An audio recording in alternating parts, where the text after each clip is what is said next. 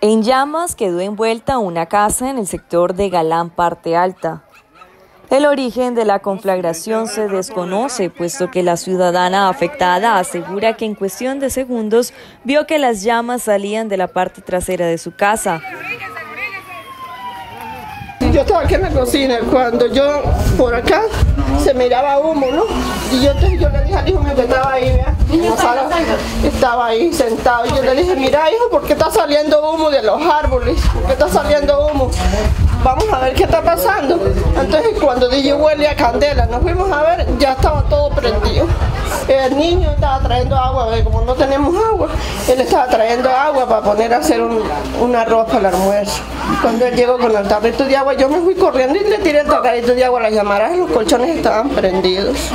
Y yo no, tengo, yo no tenía más que salir corriendo porque usted sabe que uno mejor debe de así uno que no las cosas materiales.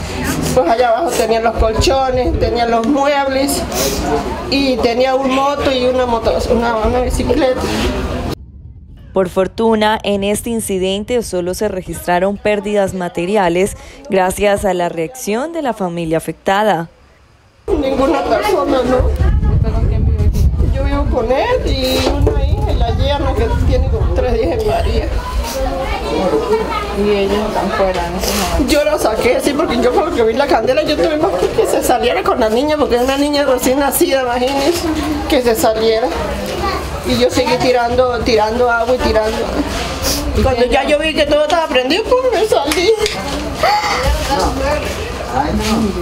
En medio del llanto, esta humilde ciudadana pide a la ayuda de los corazones solidarios que me ayude porque mire cómo me quedó la Yo soy yo soy pobre. Unidades del Cuerpo de Bomberos Voluntarios con una máquina apaga fuego controlaron la situación.